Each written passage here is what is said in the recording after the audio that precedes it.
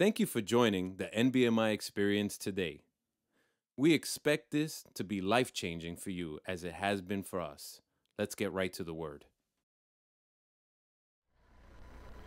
Over the last couple of weeks, we've been talking about pregnancy, and you'll understand why I did what I did today here in a second. This preaching was prepared almost two years ago, going back to the whole analytical part of, of who I am and I'm very scheduled, and I am like two years ahead, more or less, in my preachings. And it was interesting because I've been sharing with so many of you that, that share with me about how this word is on time. I even received a call from Florida from Pastor Robert, and he told me, Pastor Joel, you have no idea. I, I walked into a church this week on Thursday, and I realized that the preaching that the pastor was bringing was on pregnancy as well. He goes, It's not coincidental, it's just the way that God works.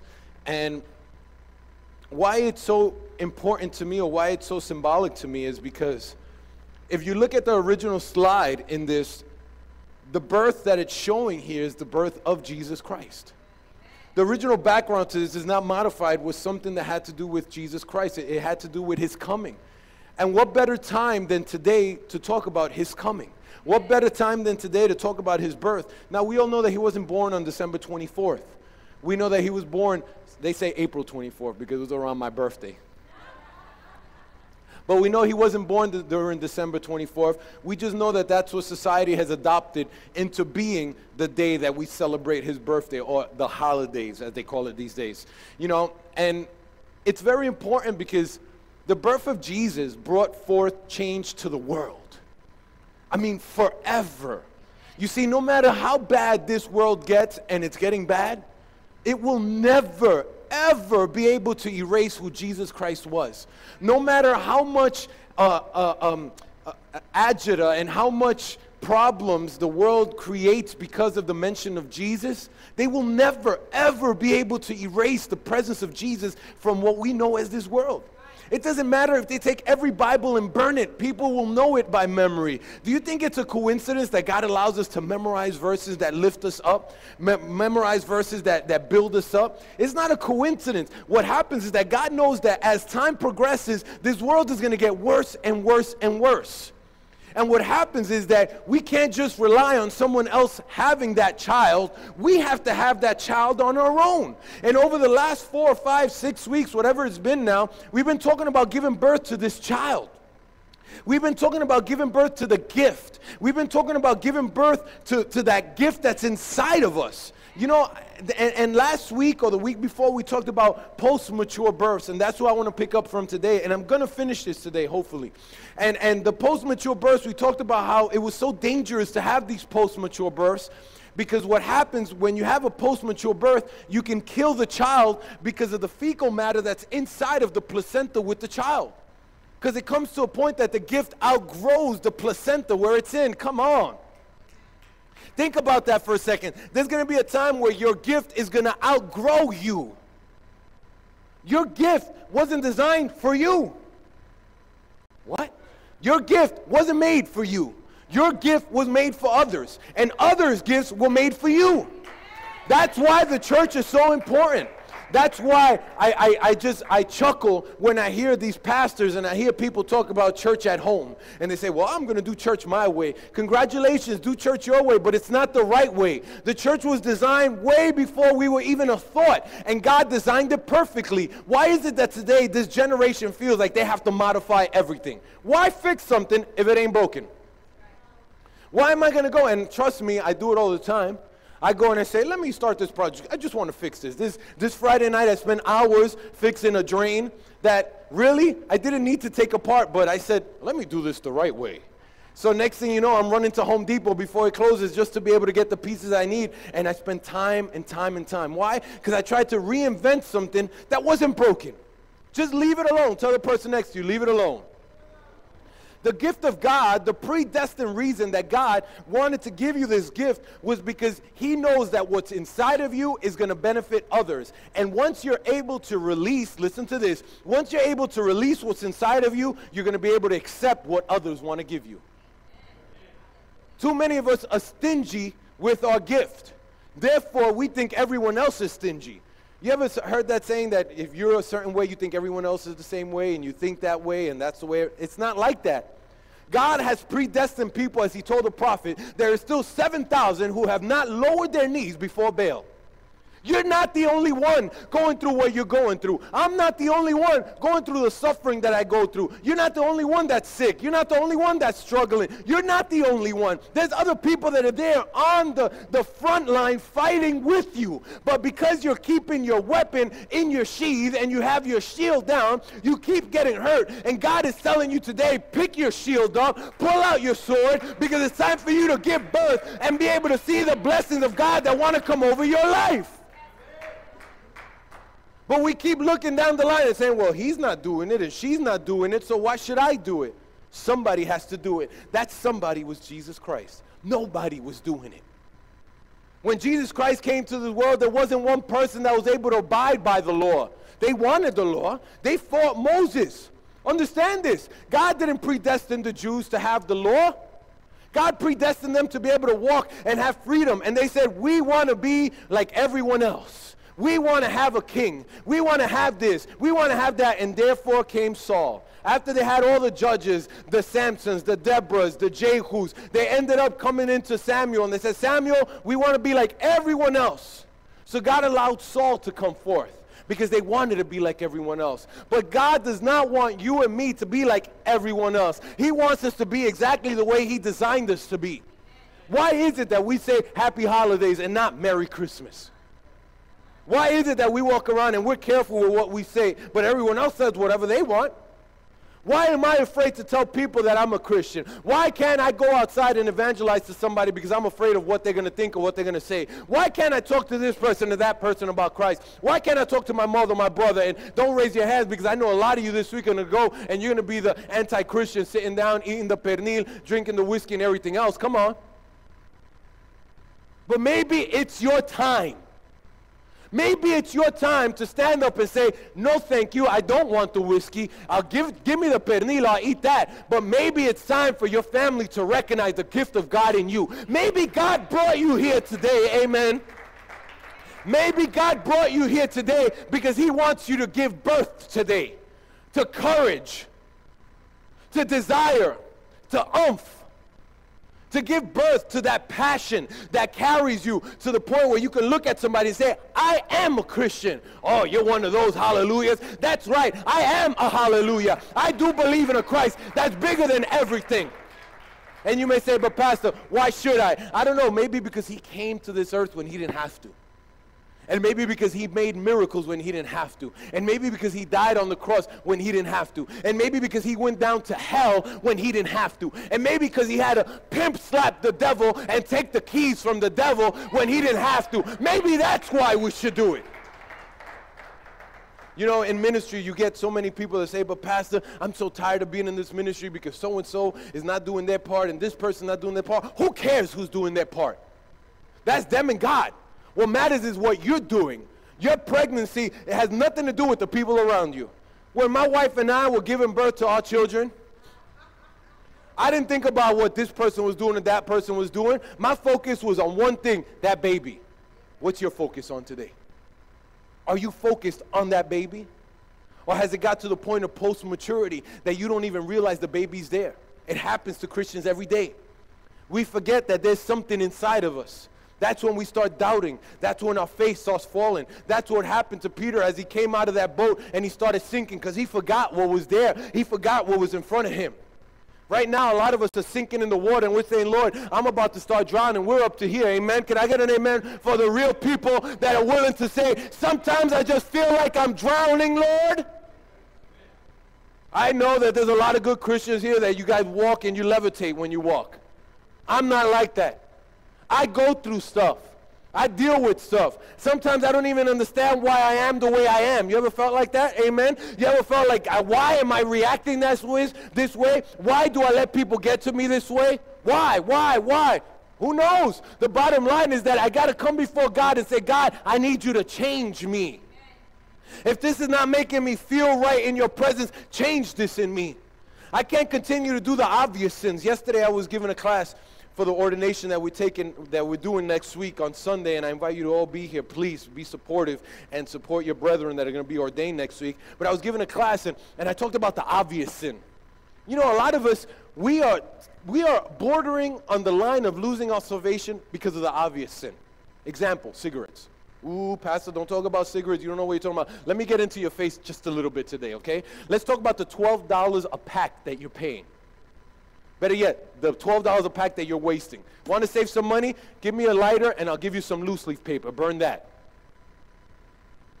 Let's talk about the fact that that spirit that's manifesting itself through you grabbing a cigarette and smoking it is the problem is not the cigarettes. The problem is that vice that's inside of you because it's going to transfer from cigarettes to alcohol. You notice how they go hand in hand when you're in society? Why? Because you just opened up the door, the gateways, and everything is running in and saying, I'm throwing a party in Joel's house, and I don't care who knows it. Now, wouldn't we look at someone who's pregnant that's smoking or drinking alcohol and say, Are you stupid? What are we? Are we not pregnant? Not with just a child, but with the Holy Spirit of God inside of us? Are we not pregnant? Are we not at the point where we're about to burst? How is it that we can find the obvious sins and continue to allow the obvious sins to come into us and contaminate the child, the gift, the beautiful thing that's inside of us? Sometimes we don't get it because we get so we get so physical, so analytical, so statistical that we say, well, one thing has nothing to do. It has everything to do with the other. Oh, but it's the the temple of God is the temple of God. We cannot continue to deteriorate this temple simply because we want to be like everybody out there. God didn't call you to be like them. God called you to let them be like you. Why is the church so watered down today? Because we're doing exactly that. We're letting people be just like us because we're being just like them. And God is saying, I need you to give birth. You got a lot of fat people walking around with bellies that are this big, with babies that are 18 years old inside of that belly. And they say, Can I come out yet? Not yet. I'm not ready yet. God, is it your time? I need confirmation. How many of us are not stuck in confirmation talking about God, I just need you to show me. So he shows you this. But God, I need you to show me, and he shows you that. I remember one time somebody told me, Pastor, I was on my knees in front of the altar and I'm so upset at God. And I said, Why? Because I told God that you had to come up to me, you had to put your hand over me, you had to pray in this language, and you had to give me this number if it was you. I said, Are you crazy? So now God has to deviate from his plan and stop just to tell you, Blue, number 17, you sunk my battleship. Come on. There's a baby inside of you. What other evidence, what other proof, what other confirmation do you need? God is coming out clear as day today and telling you that thing that's inside of you, that thing, that gift that's inside of you, that everybody tells you is in there, it's really in there. It's not a coincidence. It's not maybe. It's not perhaps. It's in there. Some of our babies are getting too big already, and we need to give birth. And you may say, but Pastor, what? Why? Why should I give birth? What happens when we don't give birth, just before I continue on, this post mature birth process, or the reason why we go through this post mature birth, is because of fear. Fear, a lot of times, because of things that we determined to do. We decided to make this decision. You know, one of the crazy things is when people get upset at God for things they decided to do. You know, they, they pray to God, they say, God, show me if this is your will, and He shows you that it's not, and you still do it. You go into business and you say, Lord, show me that it's your will. He says, Don't go into business with that person, don't go into business over there, but I do it anyway. And then when everything goes wrong, God, how can you let this happen to me? You ever done that? Come on. Honest people, raise your hand. Come on. That's the truth.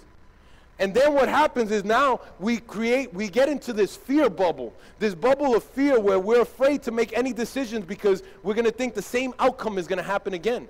One thing that I will tell you is if you listen to yourself, you will do it again. But if you start listening to God, then things are going to be different.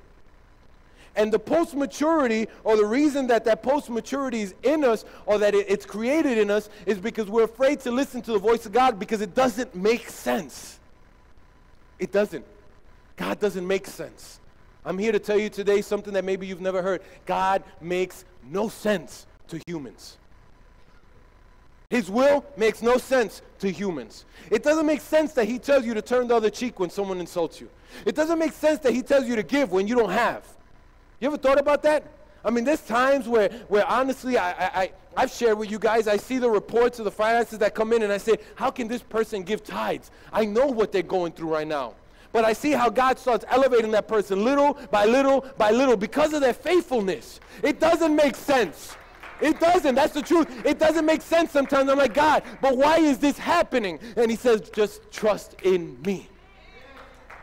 It doesn't make sense that when a professional doctor tells you you got three months to live, that God tells you you're gonna you're gonna uh, three months to live, and the, God tells you you're not gonna die. All of a sudden, you got to look at that doctor and say, "Doctor, I got news for you. I'm not dying." What? I'm not dying. But I went to Harvard. But I spent. I don't care where you went. I went to the school of Christianity. I give birth. This is the key here. Why did Jesus Christ come to this planet? He came to this planet to gift the planet with the gift of salvation, the greatest gift ever known to the world. Amen?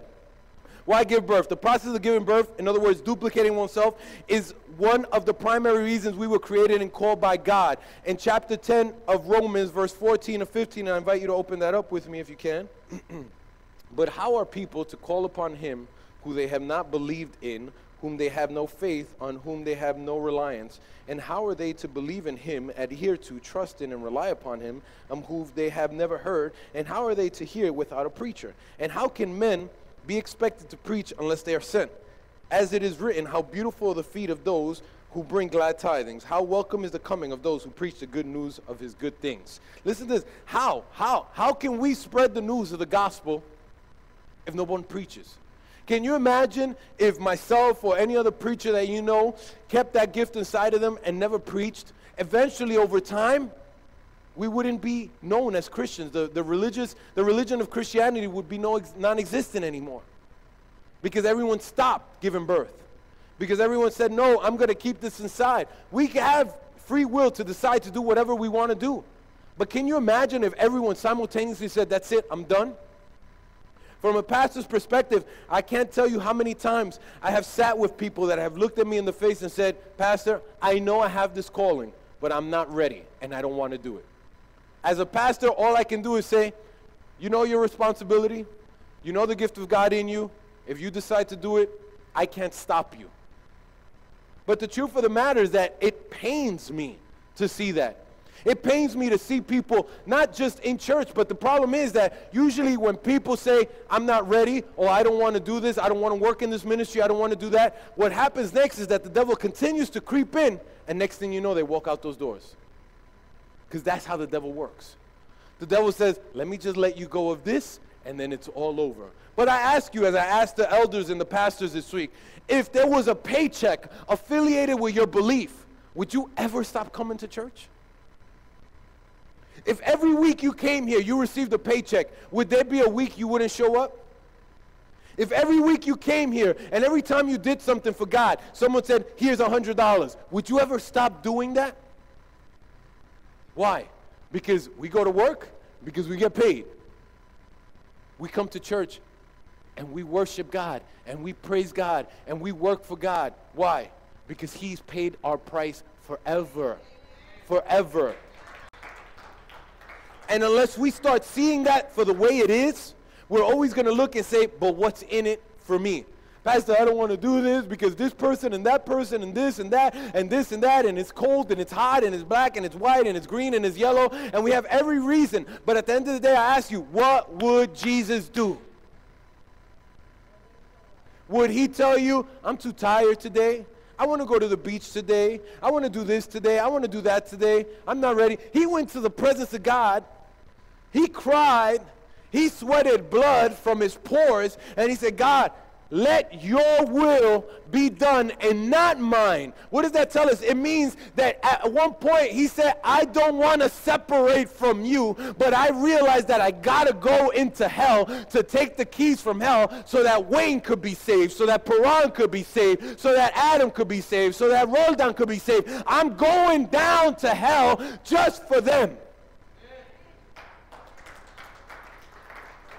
But can you imagine if he said, No, I'm, I'm keeping this gift inside of me? Can you imagine if Mary said, God, I know you selected me, but it can't be me? It, it, it, you got to give it to somebody else. Can you imagine if Mary said, No, I, I'm out. Thank you very much. I don't want it. Would God have lifted up someone else? Yeah. But can you imagine how, excuse me, dumb Mary would be to walk away from being the mother of the Messiah? We all look at it and we say, man, what's wrong with her, right? But what do we do?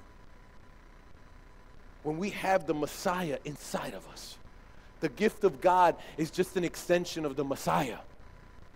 What's inside of you is an extension of Him. How do you know that, Pastor? Because I know that from my own gifts, I couldn't be behind the pulpit. I know that it's not me who does this, it's Him. I know when my wife is up here worshiping, it's not her, it's Him. I know when God touches someone, it's not us, it's Him. We're just an extension of Him. When you play the drums, it's not you, it's Him. When you play the piano, it's not you, it's Him. Why? Because you've allowed yourself to go through the process of pushing that baby out and you're able to see the gift of God in operation in and through you. It's not because you're good. It's not because you're naughty and it's not because you're nice. It's because he chose to use you. And, and I'm so happy, and, uh, and you know, it's not to blow up anybody's spot, but I'm so happy of the fact that I have my old Sunday school teacher with me. It, it, it, it, it came in such a right time. It, it just, it touches me in ways that I can't express to you. Because I, I, I'm able to transport myself back to when I was a kid and realize that if it wasn't for women and men like her that decided to give their time at that time, we wouldn't be here. You know, I look at the example of my mother, and I look at the example of uh, uh, Sister Juana, and all, and, and whoever brought you to the path of Christ. And if you think about it for a second, if those people didn't do their part, if they didn't sit on that table and give birth to that child and speak that word into your life, you wouldn't be here right now. You're a direct result of somebody sitting on this table and pushing that baby out. You're a direct result of someone putting their legs up in that stirrup and saying, This baby is coming out, and being able to see that baby develop. You're a direct result of that. And now God is saying, Now I need you to give back what was yours. Your free will. I need you to give birth to what's inside of you. I need you to take that gift and put it forth for someone else. Why? Because if we don't, we stop an entire generation. And God doesn't want to do that. God wants us to continue. In this year, 2015, and next Sunday, as I begin this new preaching series that's going to be called The Time of Peace, I need you to understand that in 2015, though it's a time of peace, it's a time of peace because the baby is born.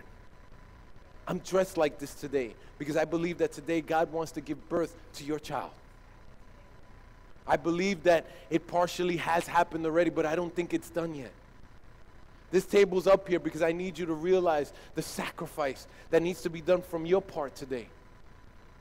I'm dressed like a doctor, symbolism of the greatest doctor, of the one and only, the one that is the doctor of all doctors. And he's telling you, look, this table is here because I want you to realize that I need you to giddy up, get on that table. I need you to sacrifice your joy. I need you to sacrifice your comfort. I need you to sacrifice. I mean, I can't tell you the amount of time and the amount of discomfort that my wife went through in seeing her when she was pregnant. All the mothers should know exactly what I'm talking about. The discomfort, not being able to sleep at night, feeling like a Jabba the Hutt, feeling like you can't sleep on this side or that side, seeing your legs swell up, your ankles swell up to the point where you couldn't walk anymore. But somehow, in that moment that the birth happened, you looked at that child and it didn't matter that you didn't fit into your jeans anymore. And it didn't matter that your legs looked like Hulks. Those things didn't matter to you because you were able to look at that child, to contemplate the beauty of that child, even though they're very ugly when they're born. Some of them, yikes, I think they're still babies. Some of them, but to be able to look at that child and say, it was all worth it.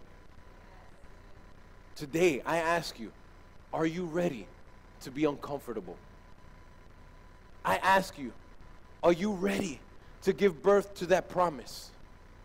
Are you willing to push that baby out? Thank you for joining the NBMI experience today. Like, comment, and subscribe at www.facebook.com front slash NBMINY or our YouTube channel at www.youtube.com front slash NBMICHURCH. Also, check out our new and improved website at www.newbeginningschurches.com. And finally, check out our new awesome church app, available on both Android and Apple platforms. Search your app store for NBMICHURCH and be blessed.